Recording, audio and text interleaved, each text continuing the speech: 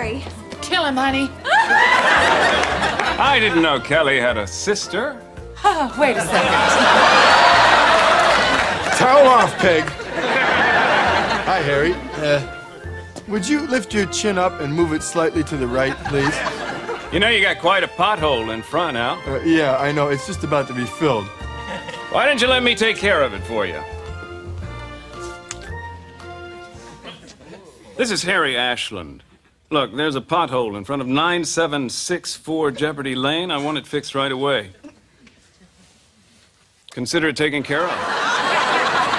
No, actually, it's like a city councilman. Well, then why did you want me to call you father?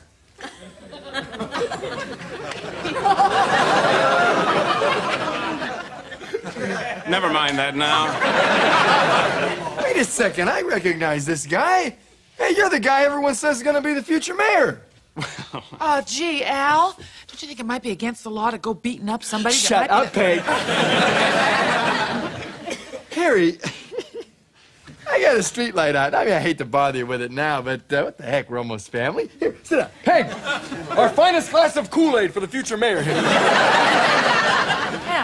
can I see you for a second? Uh, I'll be right back. Um, uh, play with our daughter. Uh, uh, Kelly, dance for the man. What? What? And your next quiz will be on the complete works of Edgar Allan Poe. Why would Miss McGowan look at me? Ah, who cares? She's 40. What would I want with a 40 year old woman? Yeah! I want that. I want that bad. Class dismissed.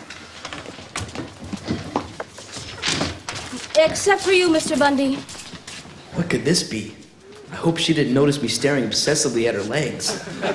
Mr. Bundy, I've noticed you during class staring obsessively at my legs.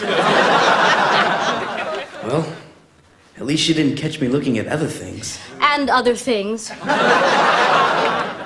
Gulp. Your behavior, Mr. Bundy, has finally forced me to take action. I understand, Miss McGowan. Do what you must.